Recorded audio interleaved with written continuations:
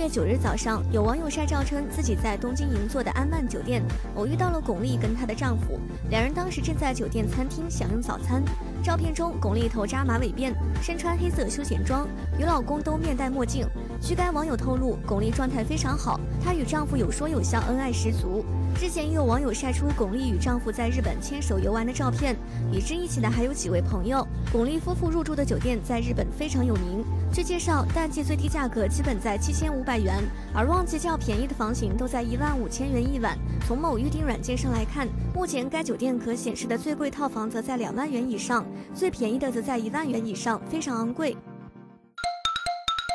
更多精彩资讯，请关注匠心影视哦。